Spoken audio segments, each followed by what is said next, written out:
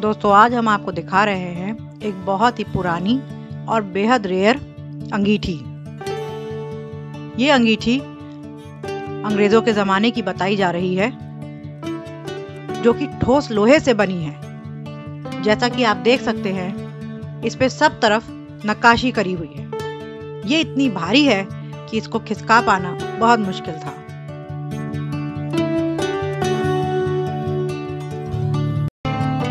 अमूमन हमने जो अंगीठियाँ देखी हैं, उनमें ऊपर एक ही गोला होता है, जिसमें जाली लगी होती है और उस पर कोयले रखे जाते हैं। लेकिन ये अंगीठी कुछ खास है, क्योंकि इसमें दो गोले बने हुए हैं, सामने की तरफ़ और एक गोला बना हुआ है पीछे की तरफ़। और इसमें बीच में जो आपको एक पार्ट दिखाई दे रहा है, वो बिल्कुल डिटैचेबल है।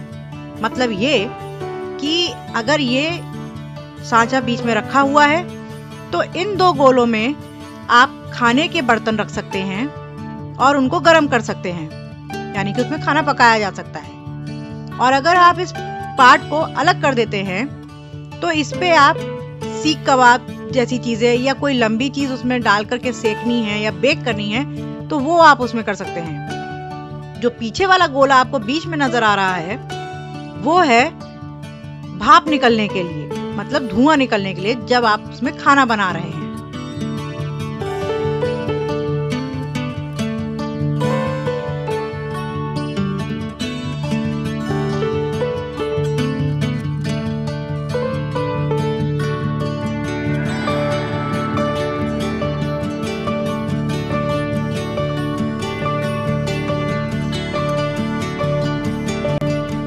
इस फ्लैप के पीछे अंग्रेज़ों के समय का कुछ गुदा हुआ भी है। जैसे कुछ प्रतीत हो रहा है, जैसे कुछ नाइन, क्वीन, आई, एच, ऐसे कुछ लेटर्स गुदा हुए हैं।